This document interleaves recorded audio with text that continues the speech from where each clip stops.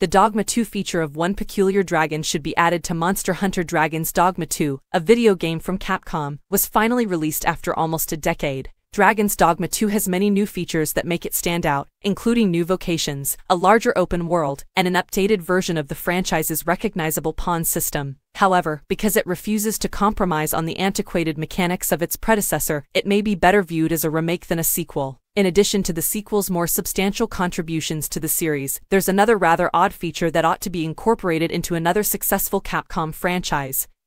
Starting with the next mainline entry, Monster Hunter is renowned for its difficult monster battles, distinctive customizing and crafting system, rich and varied worlds, and fun cooperative gameplay. But cooking is a feature that practically all Monster Hunter games must have. It can give players a number of noteworthy gameplay advantages, such as bonuses to specific stats or increases in health and stamina. While each Monster Hunter game presents the cooking process in a different way, Dragon's Dogma 2's groundbreaking approach ought to become the new benchmark for the genre. Campsites are a common sight for players discovering Dragon's Dogma 2's vast open world. Here, they can take a break and replenish lost health. Campers can benefit from the campfire and any meat they have gathered from the game's numerous animals and monsters, but the ability to restore health is a compelling enough incentive in and of itself. Players of Dragon's Dogma 2 can cook this meat at the campsite to get various stat bonuses, just like in Monster Hunter. After choosing a recipe, a delicious cooking scene takes place.